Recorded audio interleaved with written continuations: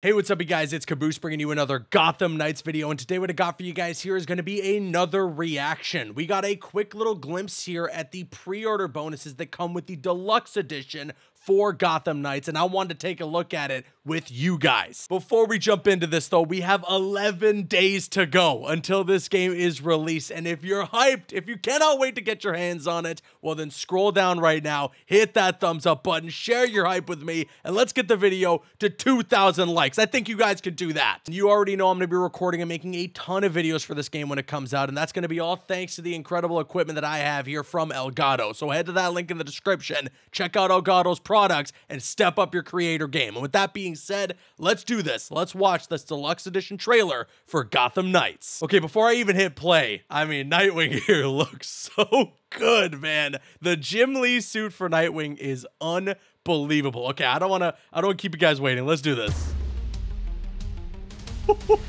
oh! Oh!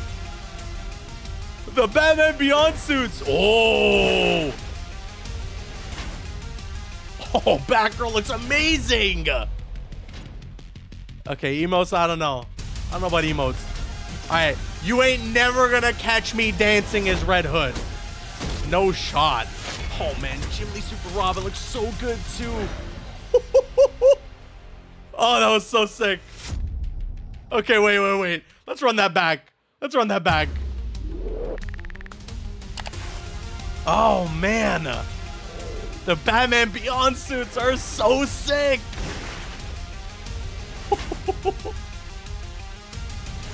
the Jim Lee suits too, man. Some of the emotes are cool, but I am not dancing. no shot. Red Hood's Batman Beyond suit, dude. Oh. Oh, wow. Okay, wait. Let me just, uh, first of all, first of all, again, Jim Lee's suit, the Knightwatch suit for Nightwing is perfect. Like it's this is a 10 out of 10. The Red Hood one too is a 10 out of 10. Batgirl, and I noticed this actually when they were going over the Batman Beyond suits. So this is how Batgirl does her glide. It like comes out like like a holographic thing or like a hologram thing. I gotta be honest. I honestly like. I would have preferred if they just did the Batman Beyond thing. If you remember from Arkham City or even in Arkham Knight, where he just has like a small cape that kind of pops out from under his arms. I don't know. I guess maybe they couldn't figure out how to get that done here in this game. It's still a cool effect, but I just would have preferred like the short cape that you guys recognize or might recognize from Batman Beyond. Still, not so bad.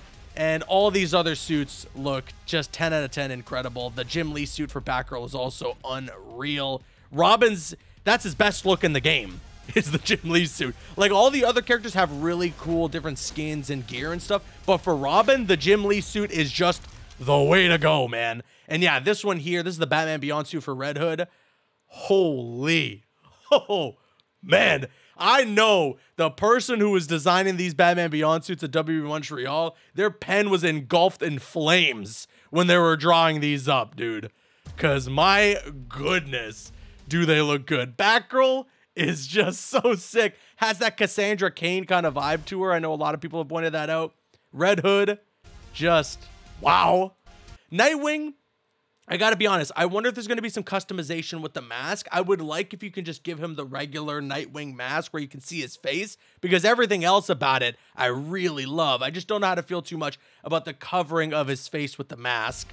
And then Robin's also looks, dude looks like the Terminator. I mean, come on. But honestly, as well, with Robin's design, this one looks the closest to even like a Terry McGinnis Batman Beyond. So I like that a lot with the Robin style. And then there you go again, the Batgirl gliding, the Knightwatch suits also looking great. This is all in the deluxe edition. And to my understanding, even though you get all this straight away if you have the deluxe edition, I believe that you can purchase the suits as like DLC if you wanted to just do that if you got the regular edition of the game or if you just want to maybe get it down the line maybe you don't want to get it right away you're not sure how to feel about it or you know if you just wanted the Batman Beyond suit styles or you just wanted the Knightwatch suit styles that might be available to purchase separately. At least to my understanding. Don't quote me, but I think so. But now I want to know what your thoughts are in the comment section below. Which suit here was your favorite out of all of them from the Batman Beyond and the Jim Lee ones? Sound off with your thoughts in the comments below. And of course, if you enjoyed my reaction,